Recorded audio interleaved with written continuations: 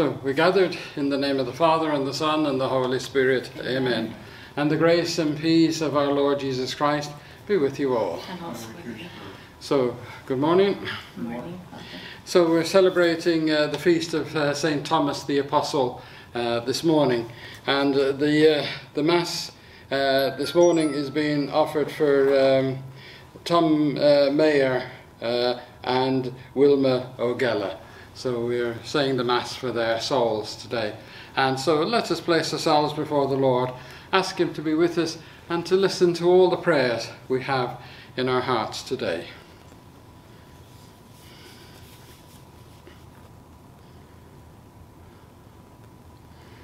Lord Jesus, you came to gather the nations into the peace of God's kingdom. Lord, have mercy. Lord have mercy.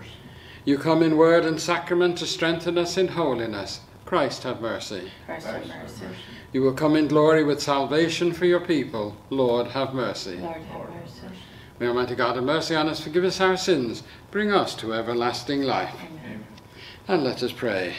Grant, Almighty God, that we may glory in the feast of, of the, Thomas the Apostle, so that we may always be sustained by his intercession, and believing may have life in the name of Jesus Christ, your Son, whom Thomas acknowledged as Lord, who lives and reigns with you in the unity of the Holy Spirit, one God, forever and ever. Amen. Amen.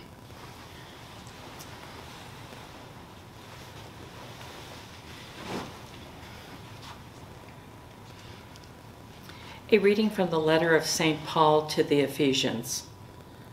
Brothers and sisters, you are no longer strangers and sojourners, but you are follow, fellow citizens with the holy ones and members of the household of God, built upon the foundation of the apostles and prophets, with Christ Jesus himself as the capstone. Through him, the whole structure is held together and grows into a temple sacred in the Lord. In him, you also are being built together into a dwelling place of God in the Spirit. The word of the Lord. Thanks be to Thanks be to God. God. The responsorial psalm Go out to all the world and tell the good news.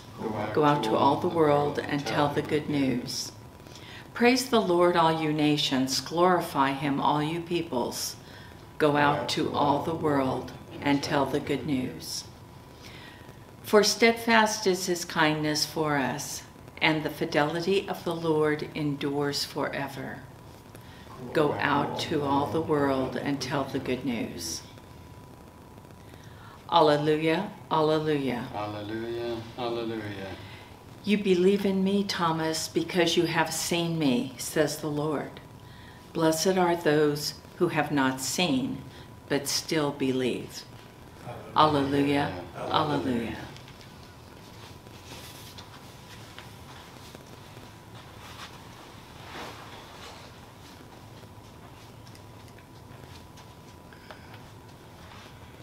The Lord be with you. And with your And with your spirit. A reading from the Holy Gospel according to John. Glory to thee, O Lord.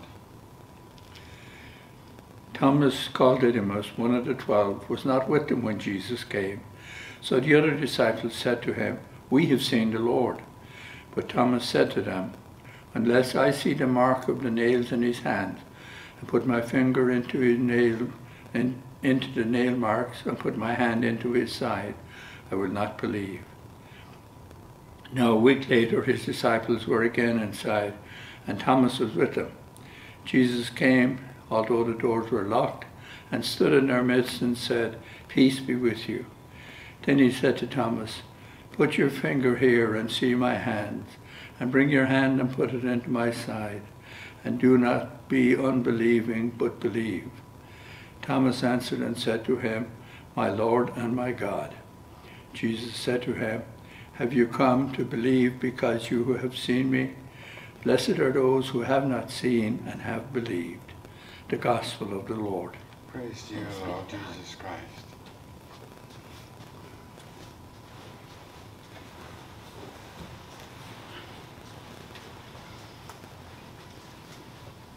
So the uh, Uh, so Thomas is called Didymus because uh, he could be mistaken for a twin brother of Jesus. Uh, Didymus means twin, and so that was his nickname was uh, the twin because he looked so much like uh, Jesus, and uh, so that's where uh, that name comes from. Many people are quite surprised um, when I tell them that there was um, that um, the faith has been in India ever since Thomas the Apostle. Because um, Thomas uh, went to India, he went to Kerala in uh, the southwest, uh, down down the bottom. So India had two uh, great men who um, uh, brought the faith uh, to India. Tom, Thomas, the, the apostle whom we're celebrating today, so he went relatively shortly after uh, Jesus' death and resurrection. And then the other uh, man was uh, Francis Xavier, um, Portuguese man. And because uh, Goa was the Portuguese part of India, and uh, so he, um, he went in the 1600s, went to Goa and evangelized the people. And so the um, and so in India you get many um, uh, Christians, and they all have Portuguese names, De Silva, Costa, uh, and that. It's because of uh, Francis Xavier. And uh, so in, uh, in the south, um, Thomas never uh, evangelized the Brahmin. And so even though it became a Catholic state, Kerala, it was still ruled by the Hindus because Thomas only evangelized the poor people. And so, and so there's Christians there. Uh, they belong to um, the Eastern Rite, the Silo, uh, Syro Malabar Rite, and the uh, Syro uh, Malankara Rite. There's two. And when they come north in India to work, they have to change to the Latin Rite. And uh, so the, um, but they're, uh, uh, they're more Eastern uh, than the Latin Rite. Uh, so in today's gospel we see um, uh, Jesus is very kind to Thomas. The, um, he welcomes his doubt and helps him to learn. Uh, he doesn't uh, chide him or, you know, uh, say, oh, you know, you're stupid or anything. so he, he works with Thomas to give him what he, he needs to understand. And uh, so, the, um, so he's very kind to him. And it shows uh, how remarkable the leader Jesus was. Um, that the way he handles people, and uh, he doesn't dismiss them or anything, uh, but he works with them to bring them to a new understanding, to a new faith. And so that's what happened with Thomas. Uh, he comes to see Jesus in a totally different way. And so he says those famous words, My Lord and my God. And uh, so, and um, in in Ireland, um, uh, uh part of the uh, when we uh, after the consecration, uh, when we say the mystery of faith, one of the in Ireland one of the responses is "My Lord and my God." That's one of the official responses in Ireland, and so the um, it's a very famous part and it's a, a, great confession. It's one of the, the first uh, confessions of faith in uh, Jesus, my Lord and my God. And so, um, uh, and so it's good to echo that with Thomas. And so let us pray this morning.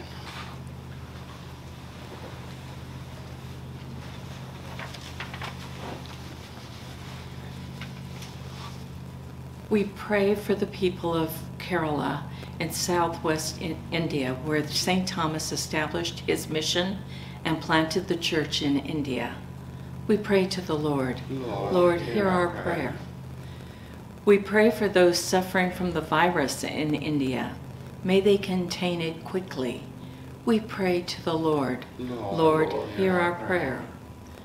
We pray for the Harijans, the untouchables of the caste system. May they know that the Lord never casts them aside, but always become, welcomes them to his table and his kingdom. We pray to the Lord. Lord, Lord hear our prayer. prayer. May the example and prayers of St. Thomas strengthen the faith of Christians who are finding it difficult to believe, especially among the young. We pray to the Lord. Lord, hear our prayer. May all who believe without saying be greatly blessed by the Lord this day. We pray to the Lord. Lord, hear our prayer.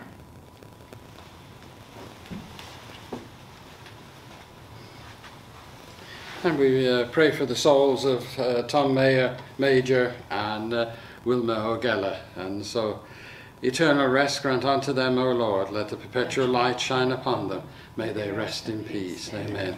May their souls, the souls of all the faithful departed, through the mercy of God, rest in peace. Amen.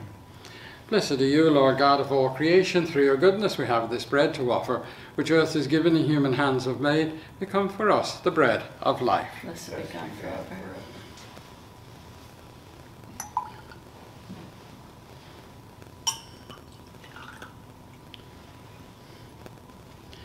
Blessed are you, Lord God of all creation. Through your goodness we have this wine to offer, fruit of the vine and work of human hands. Become our spiritual drink. Blessed be God forever.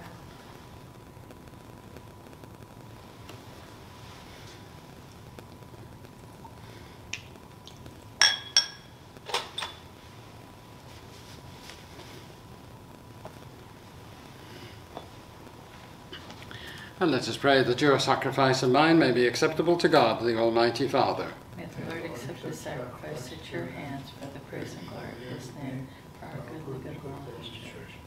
And let us pray. Grant, Almighty God, oh, sorry, wrong one.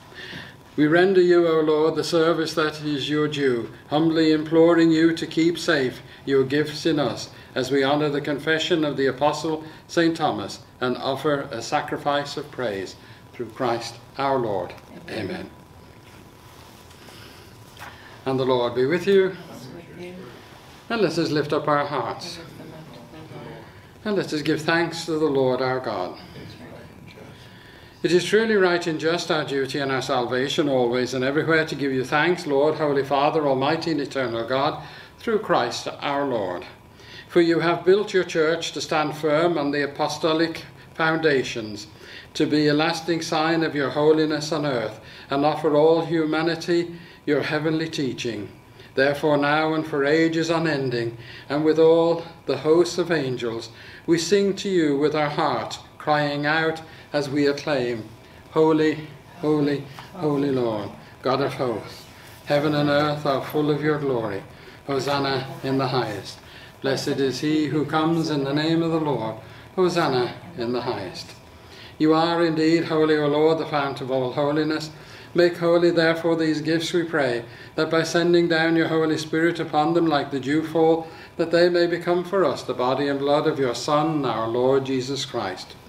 At a time he was betrayed and entered willingly into his passion, he took bread and giving thanks, he said the blessing. He broke the bread, gave it to his disciples, saying, Take this, all of you, and eat of it. This is my body, which will be given up for you.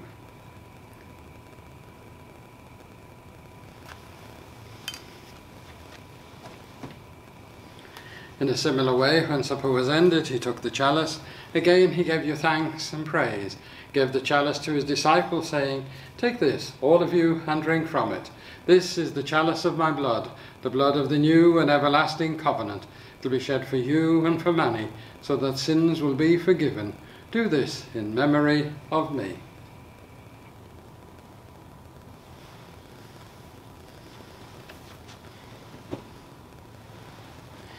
And so let us pretend we're in Ireland today and uh, say the, uh, the Irish um, mystery of faith, my Lord and my God. Therefore, as we celebrate the memorial of his death and resurrection, we offer you, Lord, the bread of life and the chalice of salvation, giving thanks you have held us worthy to be in your presence and minister to you. Humbly we pray that partaking of the body and blood of Christ, we may be gathered into one by the Holy Spirit. Remember, Lord, your church spread throughout the world, and bring her to the fullness of charity, together with Francis our Pope, Jose our Bishop, and all the clergy. Remember also our brothers and sisters who have fallen asleep in the hope of the resurrection, and all who have died in your mercy. Welcome them into the light of your face. Have mercy on us all, we pray, that with the Blessed Virgin Mary, Mother of God, with the apostles, the martyrs, and all the saints who have pleased you throughout the ages, we may merit to be co heirs to eternal life, and may praise and glorify you through your Son, Jesus Christ. For through him, with him, in him, in the unity of the Holy Spirit, all glory and honour is yours, Almighty Father, forever and ever. Amen. Amen. And let us pray now in the words Jesus himself gave us. Our Father, who art in heaven, hallowed be thy name. Thy kingdom come, thy will be done, on earth as it is in heaven. Give us this day our daily bread, and forgive us our trespasses, as we forgive those who trespass against us. And lead us not into temptation, but deliver us from evil. Deliver us, Lord, from every fear and evil, and grant us peace in our day. In your mercy, keep us free from sin. Protect us from all anxieties. We wait in joyful hope for the coming of our Saviour, Jesus Christ. For the kingdom, the power, and the glory are yours now and forever. Lord Jesus Christ, you said to your apostles, I leave you peace, my peace I give you. Look not on our sins, but on the faith of your church, and grant us the peace and unity of your kingdom, where you live forever and ever. Amen. And the peace of the Lord be with you all.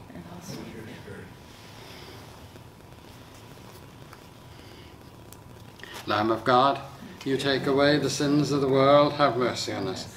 Lamb of God, you take away the sins of the world, have mercy on us. Lamb of God, you take away the sins of the world, grant us peace.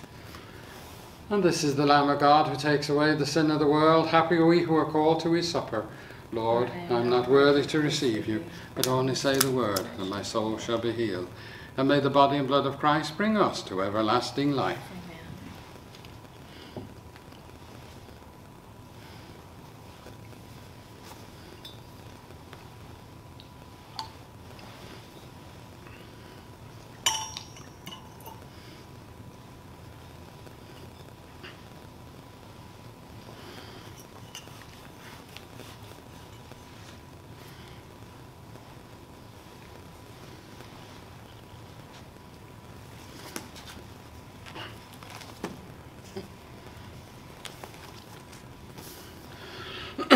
And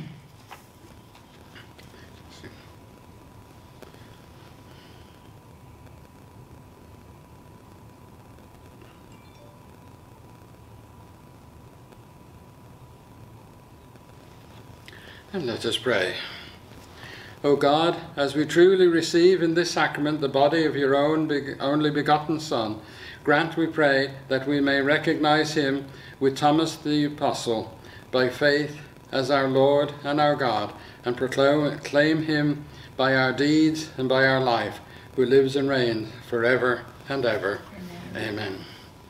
There was a, a, guy in Ireland who was driving along, and uh, he drove into a ditch and so he went and got this farmer, and the farmer brought along uh, a horse and yoked him up to the car.